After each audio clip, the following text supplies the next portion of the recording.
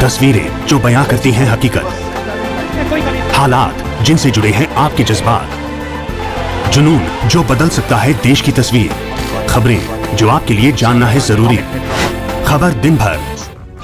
जी।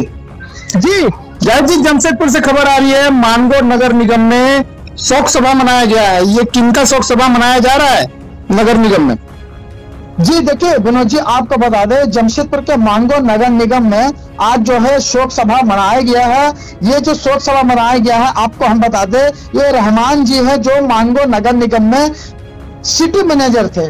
उसके बाद ये आदिपुर में चले गए थे, पोस्टिंग हो गया था वहाँ। उसके बाद इनका तबियत बिगड़ गया था तो इनका इलाज चल रहा था रांची में। तो वहाँ जो है इलाज के दौरान कल इनकी मौत हो गई थी रांची में।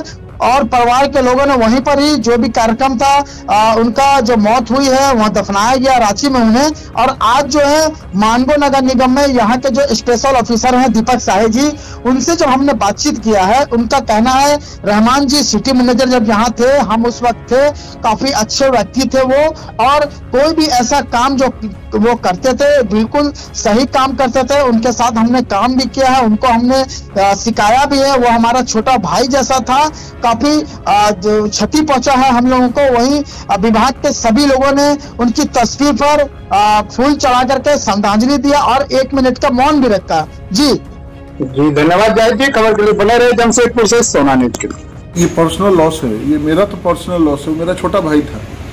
जब से इसकी बहाली हुई और जब से नगर विकास विभाग में ये 2015 में आया था जब से लोगों का सिटी मैनेजर का ट्रेनिंग हुआ था उस ट्रेनिंग को कराने वाले में से एक हम थे, यहाँ पर चूँकि हम उस समय जे में थे और उसी समय सब लोग का ट्रेनिंग कराए थे। तब से इससे परिचय है, जितने सिटी मैनेजर लोग आए थे, उसमें ये पहला लड़का था जिससे मेरे को परिचय हुआ और आज तक वो हमेशा टच में रहा। मेरे साथ शुरू में नहीं जे में हम थे, ये वो मानगो में पोस्टिंग हुआ। लेकिन वो हमेशा टच में रहता था। और फिर जब यहाँ मानगो में मेरी पोस्टिंग हुई उस समय भी वो यहीं पर था बहुत खुश हुआ था। और हम लोग एक साल तक मेरे साथ में भी था उसके बाद में उन लोग का टर्न पूरा हो गया आदिपुर ट्रांसफ़र हो गया। लेकिन घर पर आना जाना था।